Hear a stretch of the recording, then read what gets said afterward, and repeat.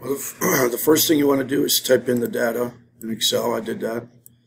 And then your sample size is 15. There's 15 of those data points. Okay. If you count them, there's 15. Plus, it tells you right here, there's 15. Okay.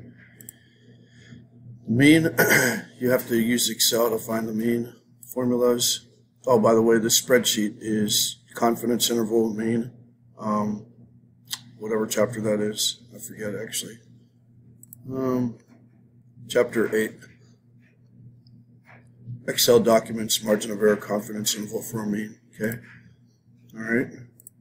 So for the mean, you go formulas, more functions, statistical average, and you highlight the data.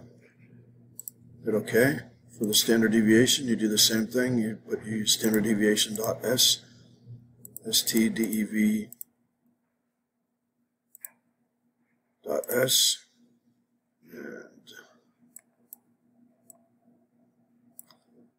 and you hit that.